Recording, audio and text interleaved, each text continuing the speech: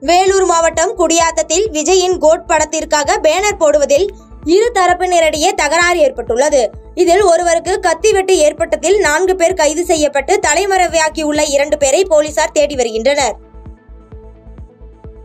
பாதகம் செய்பவரை கண்டால் நாம் பயங்கொள்ளலாகாது பாப்பா. மோதி மிதித்து விடு பாப்பா. அவர் முகத்தில் உமிழ்ந்து விடு பாப்பா.